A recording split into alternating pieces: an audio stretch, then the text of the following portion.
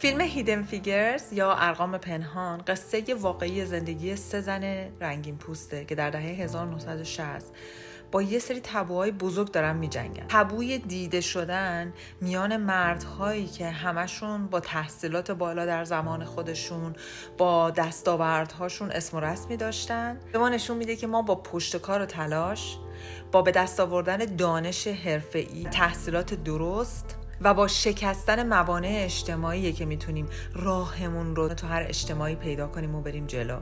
highlight های بزرگ این فیلم بر من قسمتی بود که وقتی رئیس این سه تا خانم متوجه شد این سه زن رنگین پوست توی ناسا برای استفاده از سرویس بهداشتی باید نزدیک نیم ساعت پیاده روی کنن. برن توی یه مجتمع دیگه که دستشویی سیاه پوستا رو استفاده کنن.